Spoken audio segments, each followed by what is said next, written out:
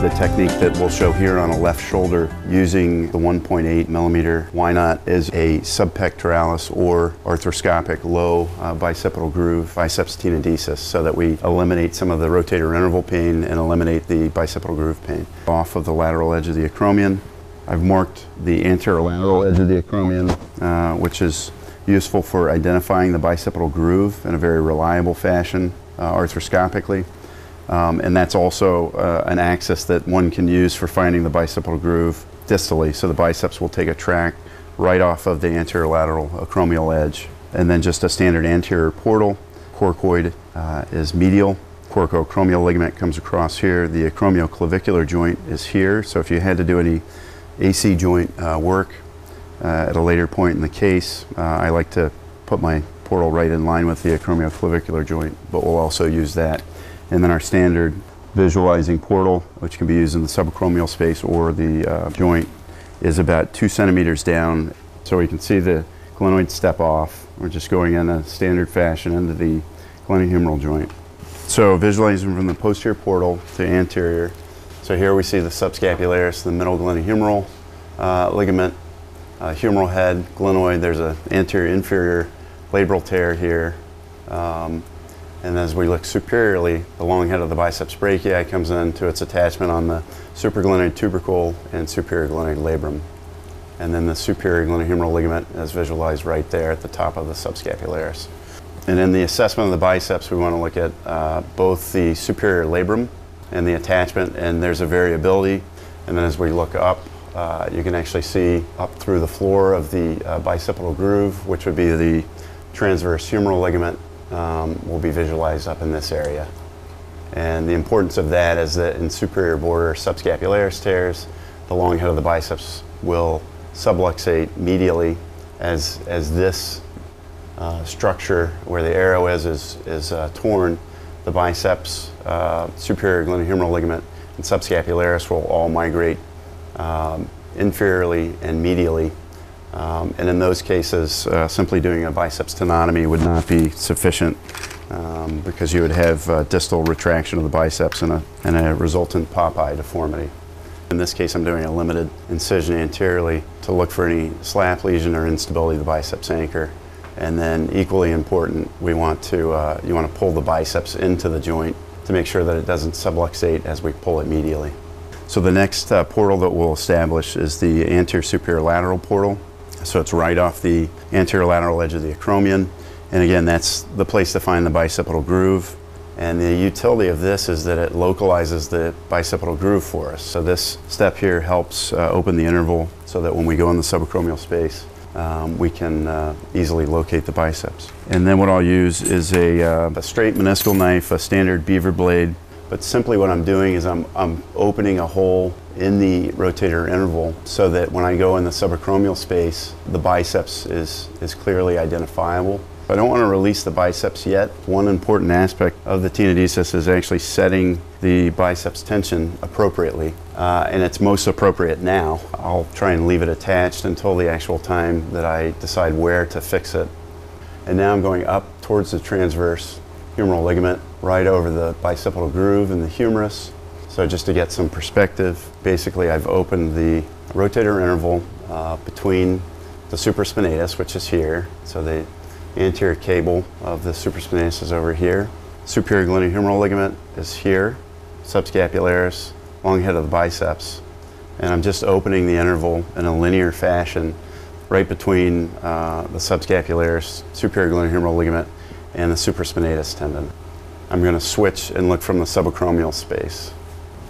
And then as I come in the subacromial space, I'm going to find the ligament and sweep fairly laterally so that I'm way out in the lateral recess. So here's the ligament. And then I'm just sweeping laterally.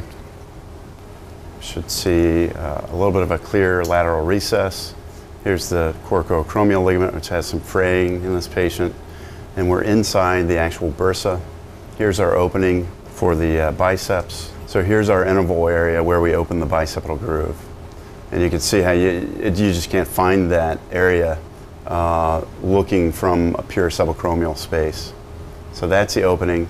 And eventually I'll switch and look from this area so that we'll be right over the biceps. Before doing that, we'll do a little bit of a bursectomy as we would in, in most cases. And I'll make this a little bit in line with our, uh, our bicipital groove. And again, we're pretty much in line with what we drew out initially right off the anterior lateral edge of the acromion. I think it's important here in any of the subacromial work to keep the deltoid fascia, which is pretty nice in this patient, intact so that you don't extravasate. In a case where we were doing any rotator cuff work or anything, I would, I would certainly do a complete bursectomy. There again is the biceps. And again, if you don't take the time to just find it intra-articularly, which uh, it's, it's impossible to find up here because all this looks uh, the same as the rotator cuff. Here's the deltoid fascia. So again, we want to try and leave that intact because we stay in the fascial planes using the rotator cuff here as the uh, fascia, and that's at the bottom of the screen. And at the top of the screen is the deltoid. And again, we're well lateral to the edge of the acromion. So if we look back, here's the coracoacromial ligament. This is supraspinatus, the anterior cable that's coming in here from medial to lateral. And then again, we've opened up the bicipital groove so that we can see the biceps. And I will now switch and look directly down on the biceps. Before I do that, I want to place a cannula.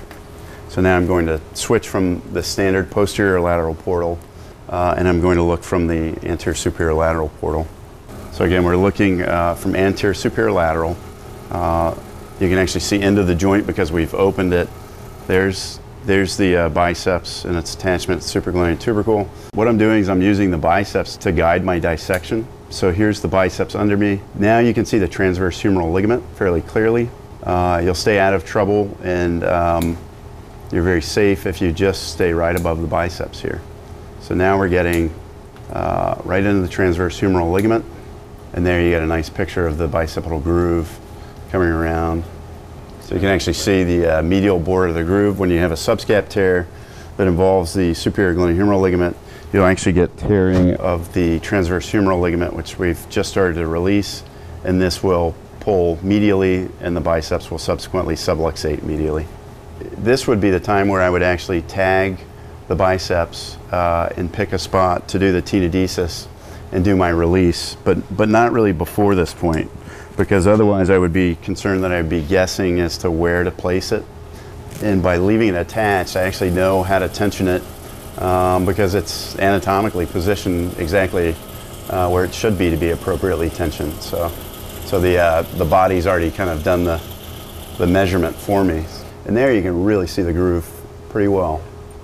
And you can see that we've, we've clearly uh, released the entirety of the transverse humeral ligament. So any groove pain that may be resultant from some of the other techniques would, would be eliminated uh, by us doing that. I've just simply doubled over a suture, placing this through the cannula. Simply I'm passing this around the biceps or under it in this case. So now I'm around the biceps and I'm simply through the loop with the grasper and now I'm going to feed the suture ends through the loop with the grasper and we just have a simple luggage tag configuration and that's a very simple kind of grasping stitch that we've now placed around the biceps. So the spot that I want to tenodesis is going to be the distal part of the groove. I'll just place it right at the base of the groove down here mm -hmm. to eliminate groove pain. And that's going to put us about here, uh, which is, uh, you can't see on the anterior side, but it's, it's right close to the subpectoralis position. My preference at this point would be to just go ahead and do our, our drill hole. So we just have a, a standard uh, guide pin, and I'm just going to place this through the cannula at the distal aspect of the groove. In this case, I'm going to drill it through the first cortex, to the second cortex, and embed it partially in the cortex uh, because I don't need it to be bicortical at this stage. And so oscillate helps. Uh, so I've got our guide wire and I'm introducing the reamer and then we've got our biceps and suture pulled off anteriorly. And if you oscillate, you're much less likely to wrap up any soft tissue as you start this. And then all we need to do is drill unicortically in this case. This is the uh, drill guide for the 1.8 millimeter uh, Y-knot. So I'm just holding that in place at the far cortex and the humerus. So we're going to drill this just unicortically through the far cortex. Okay. And then we'll place our anchor. Okay. okay. So now we're setting our anchor against the far cortex and you can see it's, you know, I'm pulling the whole arm here. Um, basically, we have, we have far cortical fixation And we have our suture mark here for where we want the tendon to be. And it's at this point um, that we'll release the biceps. And here you can see the biceps is easily coming out because we have ample length. It's already out of the wound without me doing any retracting or anything. So this is all the biceps that's extra. So here we have a, a free needle with a large eyelet so that we can pass our suture through. Here's the uh, luggage tag, kind of stay suture that we placed. I'm going to pass this in two different ways. With one of the strands, I'm just going to do a horizontal mattress configuration, coming up through the substance of the biceps. So, and that will still slide through the anchor so that it can be tied. With one limb from the other, you can do a, a running locked whip stitch. So I'm going to lock this through the loop. So one, uh, one end of this is free, the other is locked in, so you can see it pulls on the biceps. And we know the length we want for the biceps, so I'm just going to release that. And that's how much we're excising in this case. So as I, as I pull on this, our biceps comes into the tunnel, and there it goes. So now we're getting our transosseous fixation. Uh, and you can see distally, there's the biceps, and proximally, it's being tensioned in by the locked uh, whip stitch by me pulling on the, the free end of that suture. Okay. And you can see that the biceps is well tensioned again because we measured, uh, but also we're introducing it into the socket. So we're going to get good bony fixation of that. And now we've got four strands of suture to secure that we have two sliding constructs, so your knot of choice can be done. So here's our tenodesis in a bony socket. There's no suture that's prominent. It's at the very distal aspect of the groove. So this is an arthroscopic equivalent to the subpec uh, tenodesis technique using the 1.8 millimeter Y knot anchor. And you can see that it's well tensioned and there's no, no chance of a Popeye deformity in even a thin patient like this.